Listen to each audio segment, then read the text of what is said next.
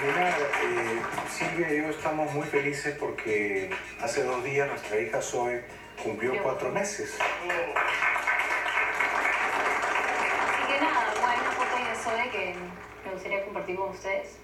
Miren a nuestra china linda. Está bañándola ahí, tú le tomaste la Sí, foto. Gracias por darme una hija tan A linda, ti, amor. a ti. Gracias, gracias, gracias de corazón. Y eso fue todo por hoy. Eso fue todo por hoy, gracias por el programa. ¿Me llevas a la casa en el auto? No, no, yo me voy con ella a ver la carreta. Un aplauso para Silvia.